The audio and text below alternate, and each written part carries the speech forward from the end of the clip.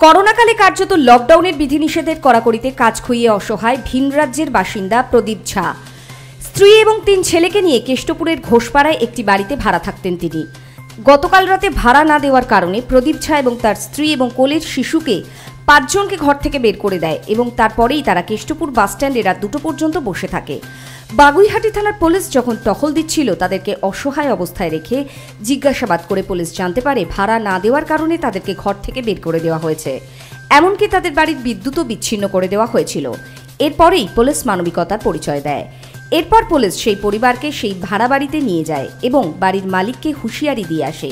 এই মুহূর্তে কোনোভাবেই কাউকে ঘর থেকে বের করা যাবে না এবং অবিলম্বে বিদ্যুৎ সংযোগ না করলে আইনানুগ ব্যবস্থা নেবে পুলিশ। স্যার এত পাঁচ মাস ভাড়া দিচ্ছে না আমি তাও কিছু বলছি না। আমরা খাবার দিচ্ছি খা চাল দিয়েছি আলু দিয়েছি। আমরা কেন? বাচ্চাগুলো থেকে আমাদের দেওয়া হয় না। আমার হাজব্যান্ড বাইরে এসে এসেছে স্যার আমার হাজব্যান্ড বলল কি আমি বাইরে এসে এসেছি। বাচ্চা তো ঘরে আছে ঘরে থাকতে আপনি কেমন টাকা দিয়ে দেবো। আমার কাজটা চলে গেছে। এরা কাজ হ্যাঁ, চলে- চলে গেছে। লকডাউন মে जो রান্না কাজ আপনি জানেন। কাজ চলে গেছে আমাকে টাকা হবে একটু টাইম দেন আমার টাকা হবে তো আমি দিয়ে দেবো উম, মানে মনা কি করছে? ধাক্কা মারে বাহার দিয়েছে শেষ পর্যন্ত পুলিশি হস্তক্ষেপে প্রদীপ ঝা এবং তার পরিবার ভাড়া বাড়িতে আশ্রয় পায়। Bureau report Nobel Bangla.